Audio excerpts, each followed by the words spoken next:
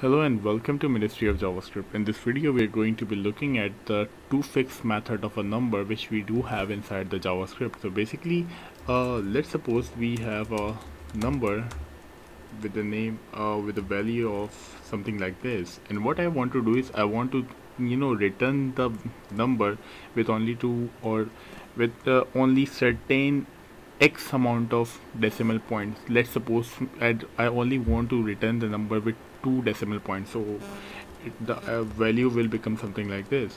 The thing is how can we implement it in javascript? Well that is very easy.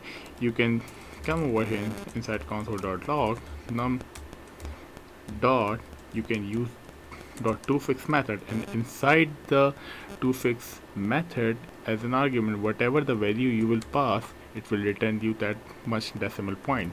So if I come over here and write 4 then it will only return me the 4 decimal point.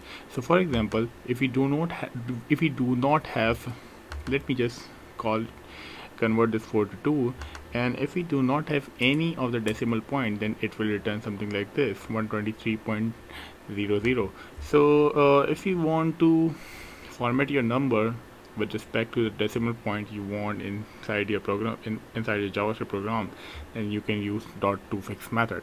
So that's it from this video. I'll see you in the next one. Have a nice day